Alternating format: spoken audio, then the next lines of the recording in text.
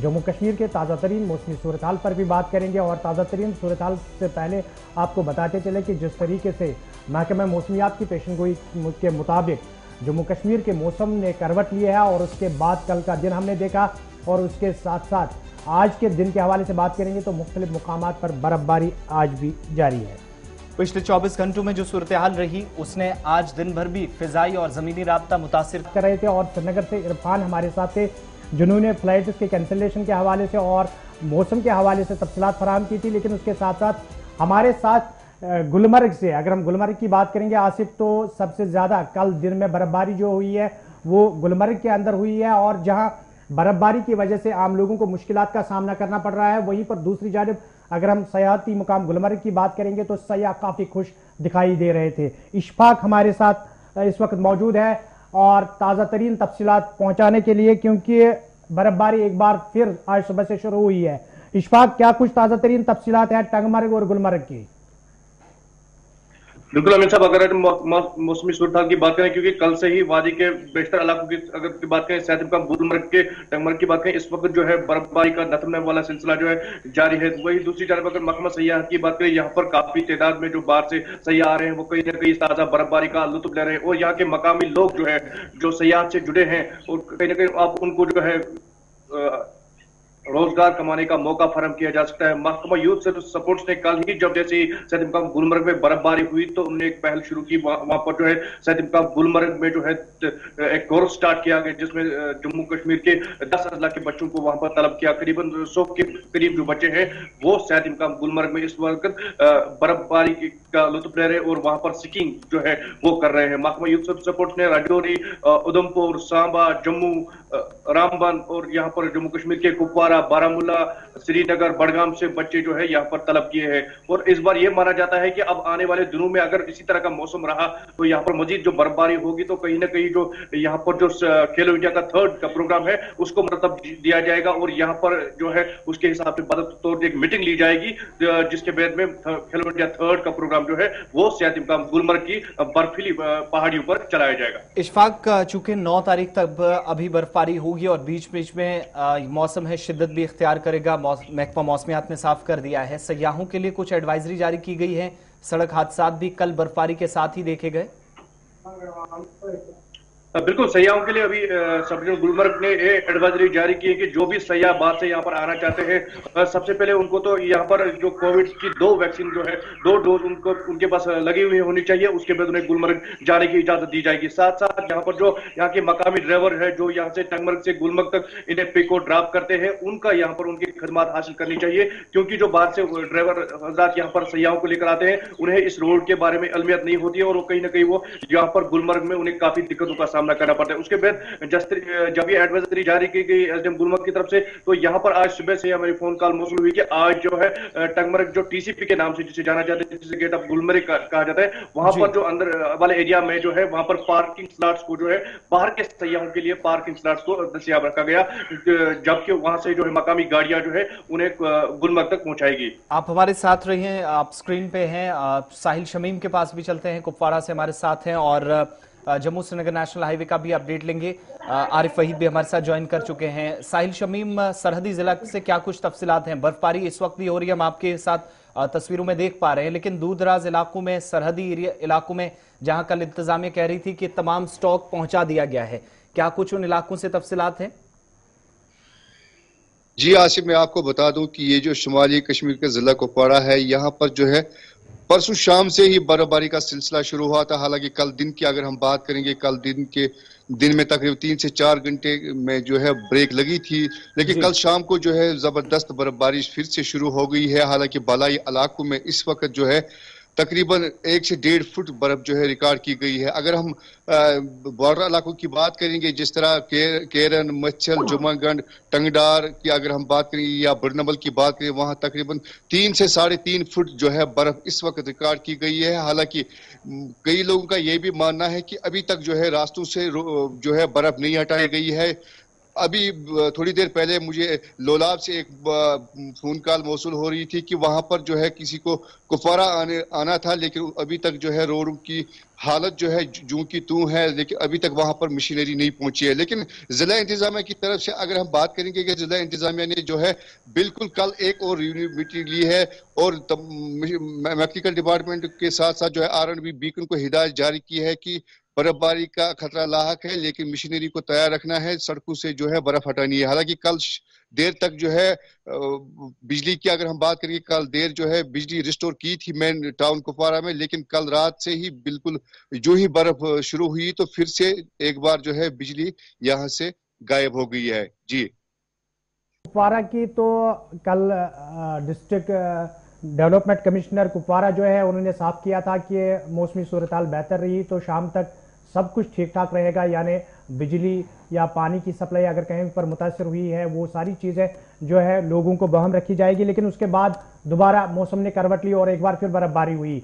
अगर हम बात करेंगे कुपवारा और करना टंगडार की, इस रास्ते के हवाले से क्या कुछ ताज़ा तरीन तफसीत है और इन इलाकों में किस तरीके के इकदाम किए गए क्योंकि जब ये रास्ता कट होता है तो फिर इन लोगों को काफ़ी दिक्कतों का सामना भी करना पड़ता है। जी साहिल साहब मैं आपको बता दूँ कि जिस तरह से आपने बजा फरमाया कि ये जो दूर दराज इलाके है जिस तरह टंगडार है केरन है मच्छल है जुमगढ़ है या आ, बाकी दूर दराज इलाके जो है वो जिला हेडक्वार्टर से मुनकता हो चुके हैं।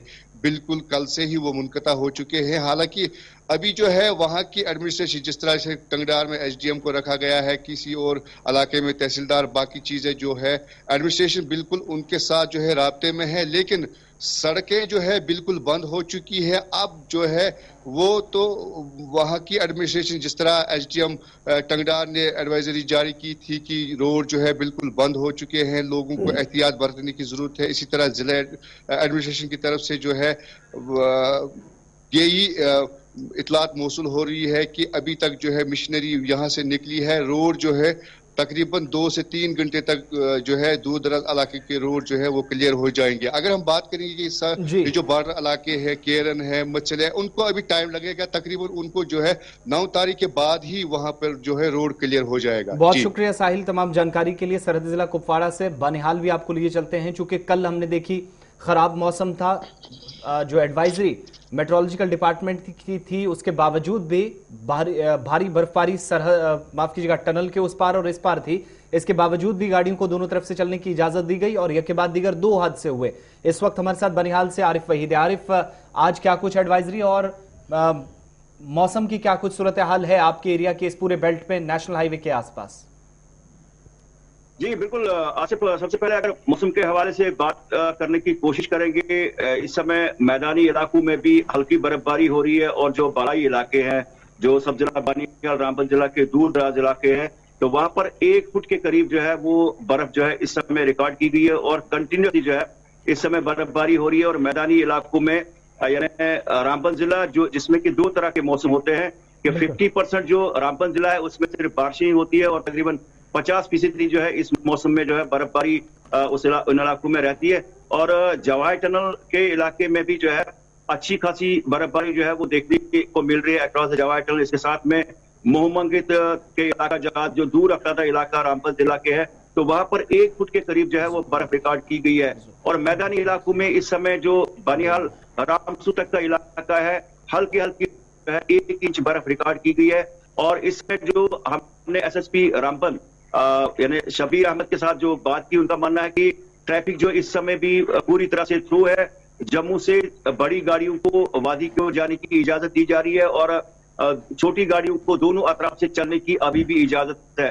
और ऐसे में अगर मौसम के मिजाज मजीद बिगड़ते हैं तो रामबद बनिहाल स्टेट जो कि स्लाइड्स के लिए काफ़ी ज़्यादा मशहूर है तो उसमें स्लाइड्स का भी अंदेशा रह सकता है। लेकिन इस वक्त की बात करें तो जम्मू नेशनल हाईवे पे आरिफ अगर हम बात करेंगे जम्मू श्रीनगर कौमी शाहरा की तो हमने देखा कि जो ही विंटर सीज़न शुरू होता है तो उसके बाद ये शहरा कई कई दिनों तक बंद रहता था। अब की बार अगर हम बात करेंगे, कल चीफ सेक्रेटरी की सदारत में एक एल मीटिंग मुनद हुई, जिसमें बहुत सारे मामला सामने लाए गए। लेकिन इस बीच एक बड़ी बात कही गई कि चीफ सेक्रेटरी ने कहा कि इस बार श्रीनगर जम्मू शाहरा किसी भी सूरत में बंद नहीं होगी। जमीनी सूरत हाल क्या कुछ है? क्या आपको लग रहा है कि इस बार श्रीनगर जम्मू कौमी शाहरा इंतजामिया का साथ देगी? जी, बिल्कुल, साहिल अमी जिस तरह से रामबंद बनिहाल स्ट्रेच में जो पुराना हाईवे था जिसपे आज भी गाड़ियाँ चलती थी तो उसमें जो साथ में जो स्लाइड वाले जो एरियाज़ होते थे तो उसमें वो स्लाइड मतलब का खतरा रहता था। लेकिन जब से वर्किंग एजेंसी चार पाँच साल से काम कर रही है तो उसमें डिगडोल मारो त्रिशूल मोड़, या इसके साथ में जो शालगढ़ी का इलाका जाता है, जहाँ पर थ्रेट रहती थी जहाँ पर 90 डिग्री एंगल में जो पहाड़ियों से पत्थर खिसकते थे जो वो कटिंग वहाँ पर मुकम्मल की गई है उससे कहीं ना कहीं स्पेस जो है वो बनाई गई है जिससे कि यानी हाईवे को बंद रहने के उतने ज़्यादा खतरा नहीं रहते लेकिन सबसे जो ज़्यादा हाईवे बंद रहता था वो यानी जवाहर टनल और शेतानी नाला के इलाकों में जब इस तरह की बर्फबारी रहती थी। अगरचे आज पुराने जवाहर टनल में जो है तकरीबन आधे फुट से ज़्यादा बर्फबारी जो है इस समय रिकॉर्ड की गई है।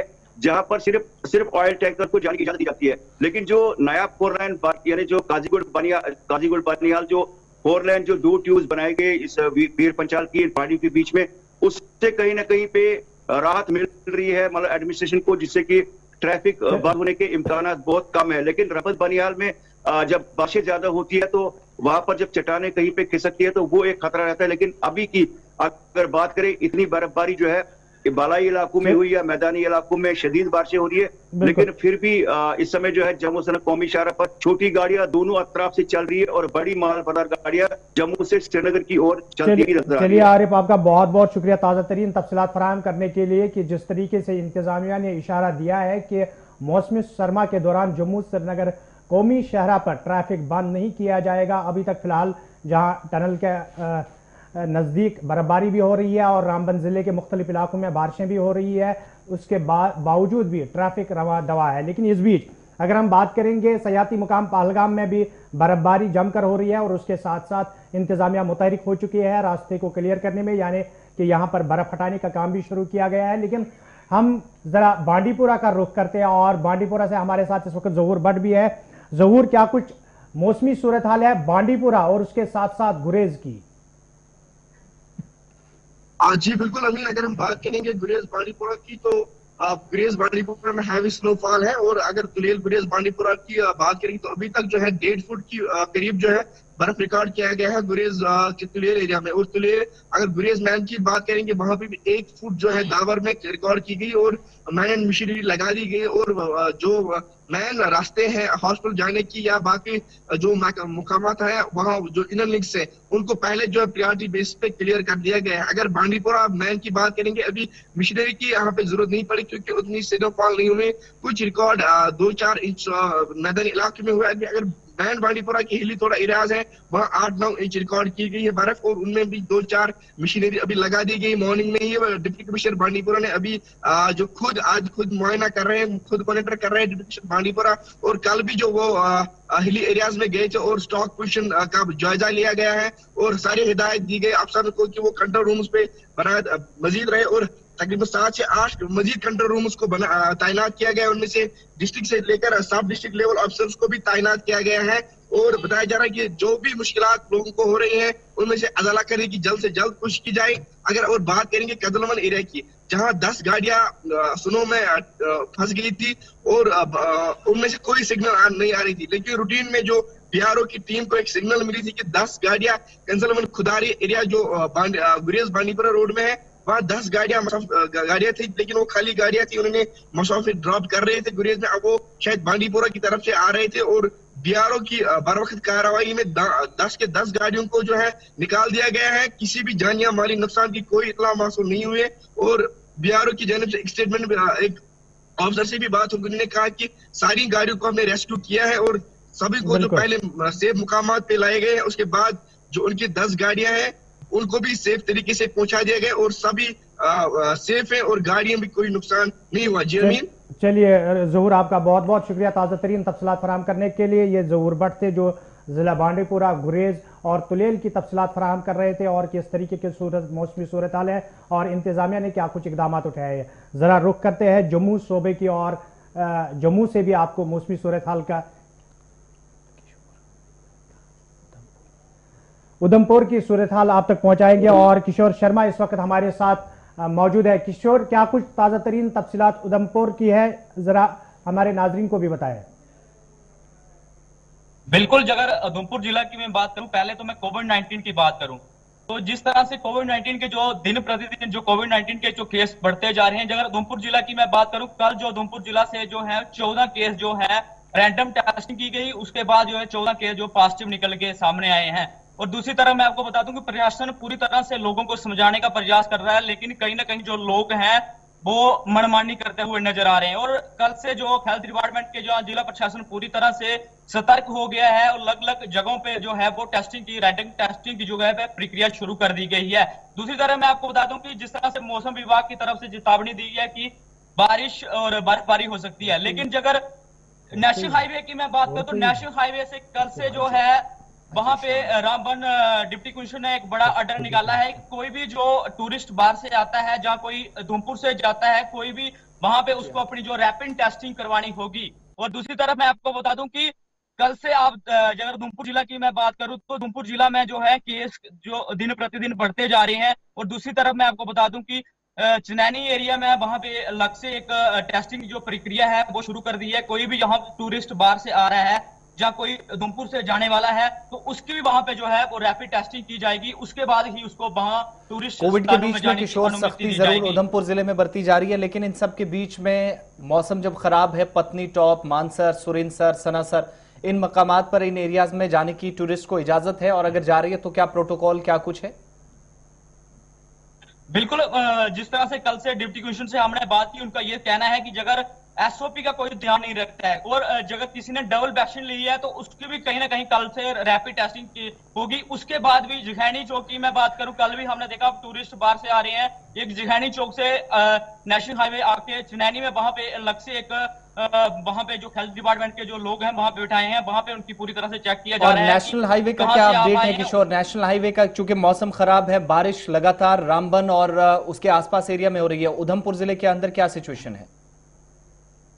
बिल्कुल आपको बता दूँ कि अगर नेशनल हाईवे के लिए एक राहत की ये खबर है कि पहले आप साफ़ देखते हैं कि राष्ट्रीय राजमार्ग में भारी बारिश होती थी तो जिहानी चौक पे आपको खियारों की तादाद में जो गाड़ियाँ थी वो खड़ी देखने को मिलती थी। इस बार एक रात की खबर यह है कि जवार टंडल के पास एक अलग से टंडल वहाँ पे बनाया बना दिया गया है कि अगर कोई टूरिस्ट बाहर से आता है तो उसको वहाँ से जाने की अनुमति दी जाएगी। जब हमने अभी डीएसपी से बात की उनका ये कहना है कि नेशनल हाईवे की मैं बात करूँ, जिहानी चौक की बात करूँ तो जिहानी चौक से जो भी गाड़ी कश्मीर की तरफ़ या पतिटाप की तरफ़ जा रही है, उसको यहाँ से हमारे उधमपुर डिस्ट्रिक्ट से जाने की अनुमति दी जा रही है। और दूसरी तरफ़ मैं आपको बता दूँ कि ये बड़ा फैसला उनकी तरफ़ से लिया है कि जिस तरह से फोर लाइन का काम चल रहा है। लेकिन जिस तरह से पहले चार से तीन चार दिन जो नेशनल हाईवे बंद रहता था टूरिस्ट को प्रॉब्लम आती थी आप देखते थे कि आए दिन जो लाइनों में जो टूरिस्ट बाहर से आते हैं जहाँ ट्रक चालक वहाँ पे खड़े रहते थे। लेकिन इस बार जो एक रात की ये खबर है कि उनको लग से एक जुआ टंडल के पास एक टंडल बनाया गया बहुत शुक्रिया किशोर तमाम जानकारी के लिए। कोविड भी अपडेट किया क्योंकि पत्नी टॉप आप जाएँगे तो कोविड टेस्टिंग का जो नेगेटिव रिपोर्ट है, वो ज़रूरी है और वैक्सीनेशन के दोनों डोज लगे होने चाहिए।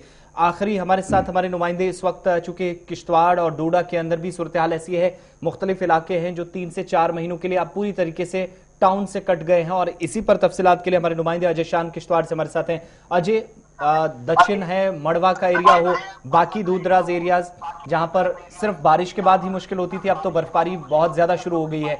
क्या कुछ इतलात हैं उन दूर दराज इलाकों से और मौसमी सूरत हाल आपके ज़िले में?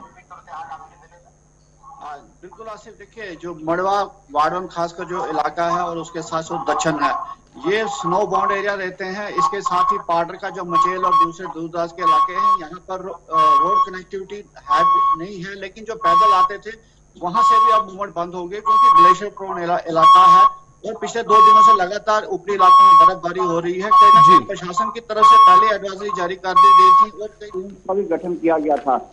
और ये भी हिदायत जारी की गई है तहसीलदार लेवल के ऑफिसर से नायब तहसीलदार हो या एस डी हो तो बिना इजाज़त के इजाज़त के बिना परमिशन के वो अपना स्टेशन लीव नहीं करेंगे क्योंकि नवंबर में यहाँ पर जब बारिश हुई थी तो सिंधन में दो कैजुअलिटी हुई तो मड़वा में एक कैजुअलिटी हुई थी। तो उसको देखते हुए प्रशासन ने पूरी तरह से यहाँ पर जो एहतियात है ली है। हालाँकि जो निचले इलाके हैं जिसे हम कह सकते हैं कि अर्बन इलाका जो है डोडा किश्तवाड़ का वहाँ पर लगातार बारिश हो रही है। कल थोड़ी बहुत बर्फ़ नीचे आई थी लेकिन यहाँ पर जो ऊपरी इलाके हैं वहाँ पर बर्फबारी का सिलसिला जारी है तापमान गिर गया है लेकिन पूरी तरह से जो नेशनल हाईवे है वो वहाँ पर अभी यातायात चल रहा है। एसेंशियल सप्लाईज की कोई इस तरह की किल्लत की कहीं से भी खबरें नहीं आ रही हैं। लेकिन ऊपरी इलाकों में जैसे आपने भी कहा कि दिक्कतें अब बढ़ती। नज़र आ रही हैं। जी आसिफ। चलिए अजय शान आपका बहुत बहुत शुक्रिया ताज़ा तरीन तफसीलात फराम करने के लिए। ये थे किश्तवाड़ से अजय शान जो कि तफसलात फराम कर रहे थे और मौसमी सूरत हाल पे बात हो रही